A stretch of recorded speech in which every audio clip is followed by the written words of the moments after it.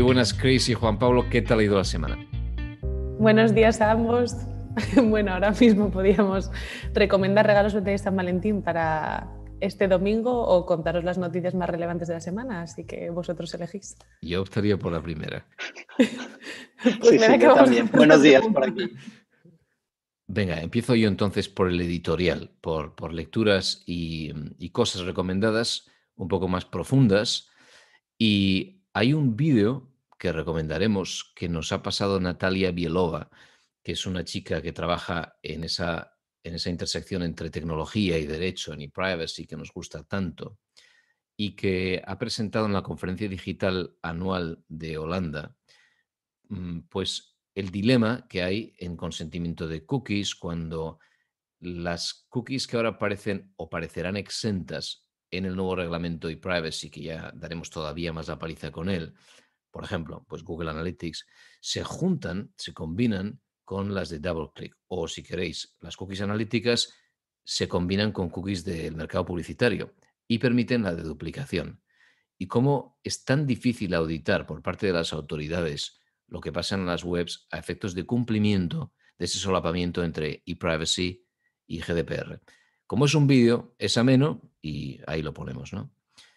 Y por monopolizar este bloque de la conversación, la segunda cosa que, hemos recomendado ahí es un artículo acerca de por qué Clubhouse, ahora que estamos todos con la historia en la cabeza, a pesar de los desafíos de privacidad que volveremos a incluir y mencionar, tiene que hacer uso de datos y metadatos si quiere salir del ahogo que supondrá esta avalancha de contenidos que hay ahora.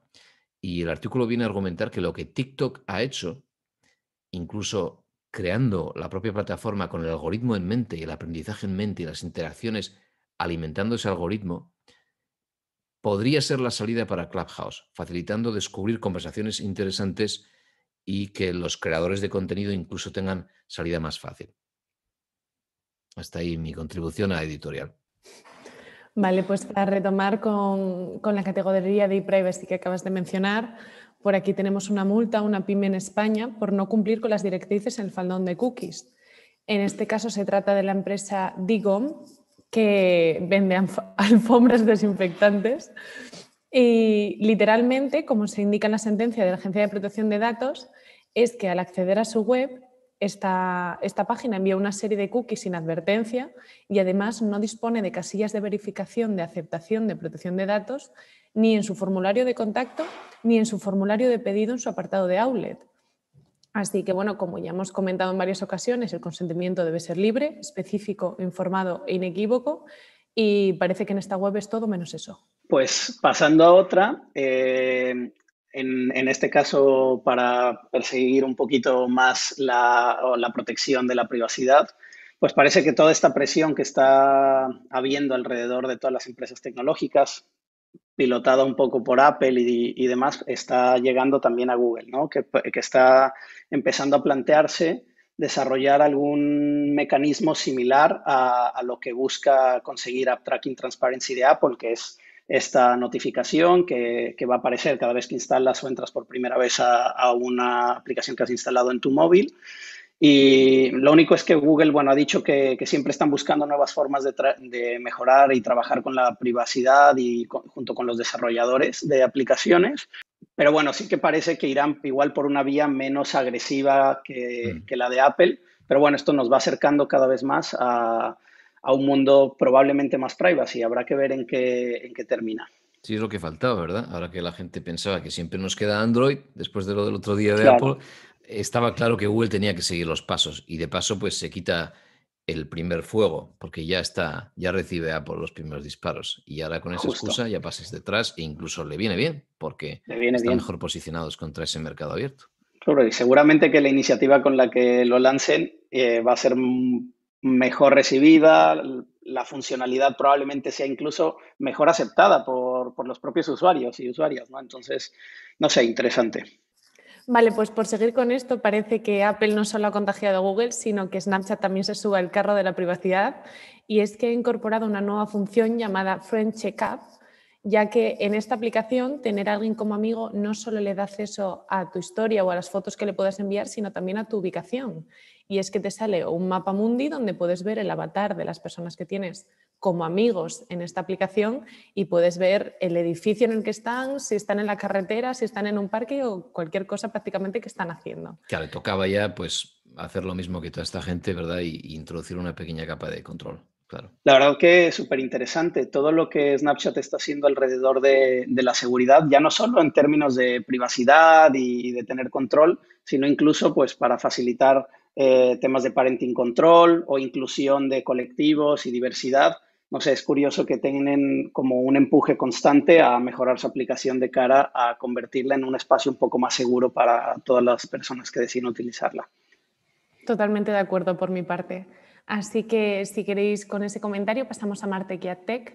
Vale, pues si quieren empezamos rápido con un pequeño reportaje que sacó el New York Times donde viene a, poner en evidencia cómo ya no solamente son eh, las propias marcas, eh, los responsables de marketing quienes están preocupados por todo el tema de brand safety, sino que ha escalado hasta los inversores que han pedido a las compañías que den explicaciones o que intenten entender eh, grandes compañías, en este caso, ¿no? Grandes anunciantes. Por ejemplo, está el caso de Home Depot, que es la versión del Leroy Merlin en Estados Unidos.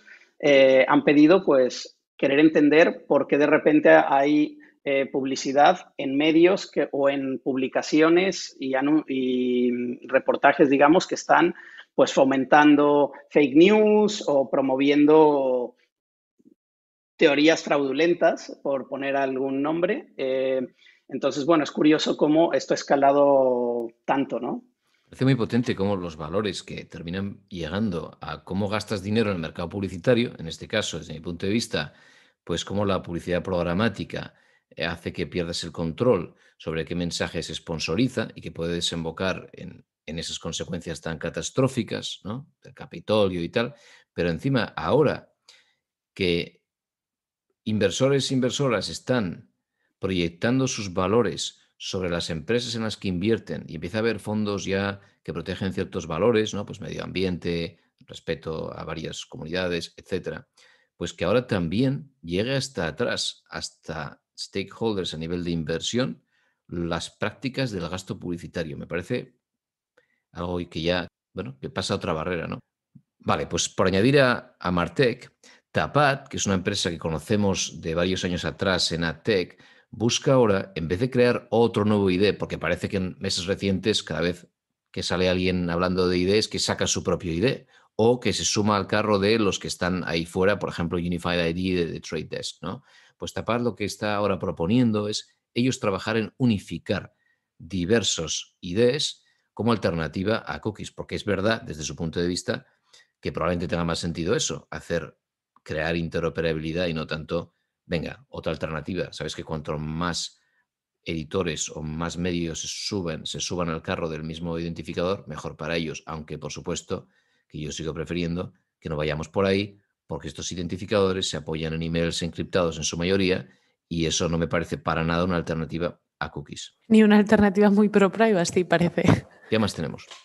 Vale, pues entonces pasamos a competencia y mercados digitales y la gran noticia es que TikTok va a permitir que la gente compre directamente desde la propia app mediante un botón y así los influencers van a poder ganar mucho más dinero y aprovechar toda esta audiencia que tiene la aplicación. Muy bueno. Totalmente. Aquí entra ya a competir ahora sí con Instagram y Facebook, ¿no? Programas de afiliados y demás. Eso es.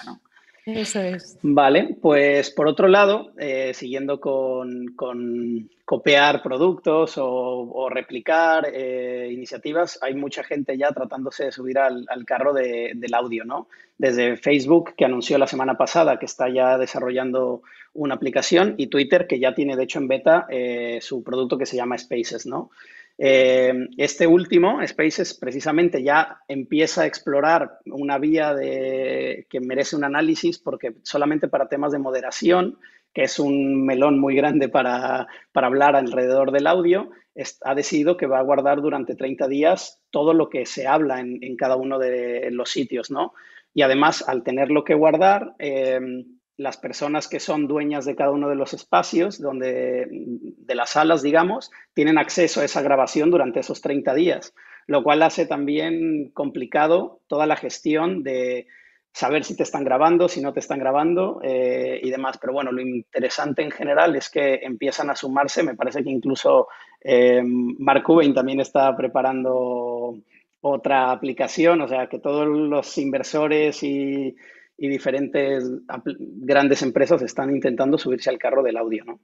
Vale, pues si queréis pasamos a Cero Partidata y ahí en la comunidad de MyData Madrid hemos tenido eh, dosis doble esta semana. Por un lado, hemos entrevistado a Gam Díaz, con el que hemos participado muy activamente en la comunidad, y hemos tocado estas piezas fundamentales de, agency, ¿no? O de control y transparencia, y cómo eso podría o no estar anclado en descentralización, y otras cosas en el podcast en inglés. Y por otro lado, también ayer, eh, jueves, volvimos a arrancar los eventos de MyData Madrid, esta vez en Clubhouse, ya por seguir con el monotema. Y bueno, muy poca afluencia, pero hay que empezar por algún lado. Justo, pues eh, por otro lado, seguimos con una que igual ha sido un poco recurrente. Google no ha actualizado todavía eh, sus privacy labels en la aplicación, pero sí que eh, durante unos días, o unas horas probablemente más bien, cuando entrabas a la aplicación, directamente te decía que la aplicación estaba out of date, ¿no? que no la habías actualizado. Casualmente no había ninguna actualización disponible, lo cual me gustaría hacer pensar que, me gustaría pensar que, está cerca eh, el hecho de, tener esta actualización. Es verdad que muy rápido Google reaccionó y quitó esa notificación, ¿no? Pero bueno, a ver si pronto ya aparece esos privacy labels en la aplicación. Bueno, pues por mi parte pasamos con el último bloque, que es el de futuro de los medios, en este caso con una noticia premium de red de periodistas, y es que Telefónica prepara un Netflix de los medios, tal cual como suena. Y es que Telefónica lidera este proyecto para desarrollar esta gran plataforma que aglutinaría las suscripciones digitales de la prensa escrita como los de pago. Vale, yo había leído un poco, un poco acerca de esto en un artículo en el que se combinaba la gente a pagar por las noticias, como siempre, ¿no? de los medios principales, y hablando de que también estaba esta posibilidad. ¿no? ¿Vale? Por añadir esto y cerrar el capítulo, Twitter está mascullando o está ponderando un servicio de suscripción. Aquí algunos habéis oído a Scott Galloway en el podcast este de Pivot, hablando de que la gente que más seguidores tiene en Twitter debería pagar. Si tienes más de 10.000, pagas X. Si tienes un millón, pagas más. Y que como tienes más audiencia, pagas más mucha gente echaba manos a la cabeza, decía, pues yo echaré followers si tengo que pagar por ellos. El tema es que ahora está más saltado a la funcionalidad de TweetDeck por ahora o a funcionalidades más específicas de creadores de contenido original, etcétera, por lo que parece. Pero estamos a la expectativa. Totalmente. Súper interesante, ¿eh? porque llevamos ya bastantes años con redes sociales y todavía nadie ha descubierto una forma de monetizar que no sea a través de algo similar a la publicidad y esperemos que pronto lleguemos a alguna solución, ¿no? Futures, followers, es una receta compleja por todo lo que conlleva, ¿no? Pero ojalá, ojalá, o sea, yo la verdad es que estaría muy contento de que se llegue a una posible solución o alternativa que no sea necesariamente la publicidad. Sí. Muy bien, muchas gracias. Feliz fin de semana. Gracias a vosotros. Gracias.